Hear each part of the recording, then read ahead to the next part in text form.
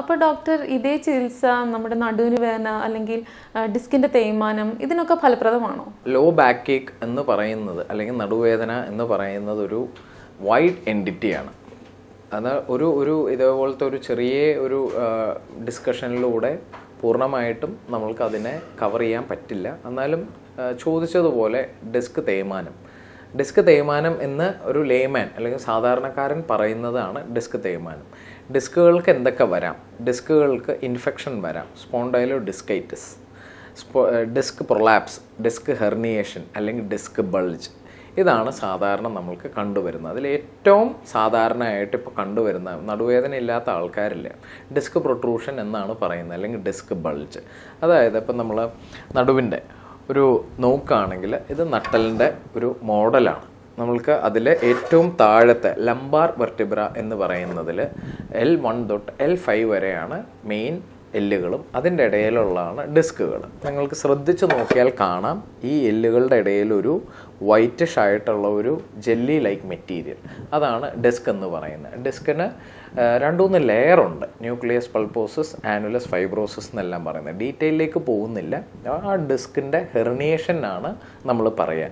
അതായത് ഇങ്ങനെ ശ്രദ്ധിച്ച് സൈഡിൽ നിന്ന് ഒരു ആളെ നിർത്തി സൈഡിൽ നിന്ന് നോക്കുകയാണെങ്കിൽ ഈ ഡിസ്ക് ബാക്കിലേക്കാണ് പ്രൊട്രൂഡ് ചെയ്യാറ് അല്ലെങ്കിൽ ഡിസ്ക് തെന്നുക. അല്ലെങ്കിൽ ഡിസ്ക് ബൾജ് എന്ന് പറയുന്നത്. അതിന്റെ റീസൺ ഫ്രണ്ടിൽ എപ്പോഴും സ്ട്രോങ് ആയിട്ടുള്ള ലിഗമെൻസ് ഉണ്ട്. അപ്പോൾ ഈ ഡിസ്കിനെ എപ്പോഴും തള്ളാൻ അല്ലെങ്കിൽ പ്രൊട്രൂഡ് ചെയ്യാൻ സാധ്യത ബാക്കിലേക്കാണ്. പിന്നെ ഏത് ലെവലിൽ?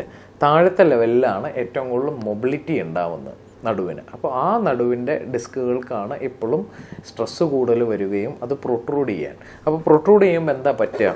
നമ്മുടെ നട്ടലിൽ നിന്ന് കാലിലേക്ക് പോകുന്ന ഞരമ്പുകളുണ്ട്. ആ പ്രൊട്രൂഡ് ചെയ്യുന്ന ഡിസ്ക് ഇവിടെ റെഡിൽ മാർക്ക് ചെയ്തേക്കുന്ന പോലെ കാണാം. അത് ബൾജ് ചെയ്യുകയും ഈ കാലിലേക്ക് പോകുന്ന ഞരമ്പിനെ പ്രസ് ചെയ്ത് ആ കാലിലേക്ക് പോകുന്ന ഞരമ്പ് വഴി നമ്മൾക്ക് വേദന നടുവിൽ നിന്ന് കാലിലേക്ക് പോകുമ്പോഴാണ് നമ്മൾ ഡോക്ടറിനെ കാണുകയും അപ്പോൾ എക്സ്റേയും എം ആർ ഐ എടുത്തു കഴിഞ്ഞ് ഡോക്ടർ പറയുന്നത് ചിലപ്പോൾ ലംബാർക്ക് ഡിസ്ക് ഹെർണിയേഷൻ അല്ലെങ്കിൽ ലംബാർക്ക് ഡിസ്ക് പ്രൊട്രൂഷൻ അല്ലെങ്കിൽ ഡിസ്ക് പ്രൊലാപ്സ്. ഇത്രയാണ് നമ്മൾക്ക് വരുന്നത്. അത് ഈ റീജനറേറ്റ് മെഡിസിൻ ചെയ്യാൻ പറ്റുമോ ഇല്ലയോ എന്നുള്ളതാണ് ക്വസ്റ്റ്യൻ. ഡെഫിനറ്റ്ലി ചെയ്യാം. നമ്മളത് എങ്ങനെയാണ് ഈ ഡിസ്ക് പ്രൊട്രൂഷനിൽ ചെയ്യുക എന്ന് പറയുമ്പോൾ നമ്മൾ ഇതൊരു ലോക്കൽ അനസ്തേഷ്യയിൽ ചെയ്യുന്നതാണ്. അണ്ടർ ഫ്ലൂറോസ്കോപ്പി ഫ്ലൂറോസ്കോപ്പി എന്ന് പറയുന്നത് എക്സ്റേ പോലത്തെ ഒരു മെഷീനാണ്. ആ മെഷീനിൽ വെച്ചിട്ട് രോഗിയെ നമ്മൾ ഒരു പ്രത്യേക തരത്തിലുള്ള ടേബിളിൽ കിടത്തും. കിടത്തിയിട്ട് നമ്മൾ ഏത് ലെവലിലാണോ ഡിസ്ക് പ്രൊട്രൂഡഡ് ആയിട്ടുള്ള ആ ഡിസ്കിനെ നമ്മൾ ചെറുതായിട്ട് ചുങ്ങാനായിട്ടുള്ള ഇഞ്ചക്ഷനുണ്ട് അത് ഓസോൺ തെറാപ്പി ഉണ്ട്. അല്ലെങ്കിൽ R F radio frequency ablation എന്ന് പറയുന്ന പോലത്തെ തന്നെ മെഷീൻസ് ഉണ്ട്. ആ മെഷീൻ വെച്ചിട്ടെല്ലാം ഈ ഡിസ്കിനെ ചെറുതായിട്ട് അതിന്റെ ഹെർണിയേഷൻ കുറയ്ക്കുകയും ആ ഡിസ്ക് പോയ സ്ഥലത്തേക്ക് നമ്മൾ ഈ പ്ലേറ്റ്ലെറ്റ് റിച്ച് ഫൈബറിൻ ഒരു ഗ്ലൂ പോലെ നമ്മൾ അതിൽ ഇഞ്ചെക്ട് ചെയ്യും അപ്പോൾ ഡിസ്കിന് പകരം തന്നെ ഡിസ്ക് വെക്കുകയാണ്. ആർട്ടിഫിഷ്യൽ അല്ല നമ്മുടെ സ്വന്തം. അപ്പോൾ ഒരു ഡിസ്കിന്റെ പൊസിഷനിങ്ങിൽ നമ്മൾക്ക് ഈ പ്ലേറ്റ്ലെറ്റ് റിച്ച് ഫൈബറിൻ വെക്കുകയും ചെയ്യാം. അതിന് വേറെ സൈഡ് എഫക്റ്റ് ഇല്ല. റൂട്ട് കംപ്രഷൻ മാറുകയും ചെയ്യും.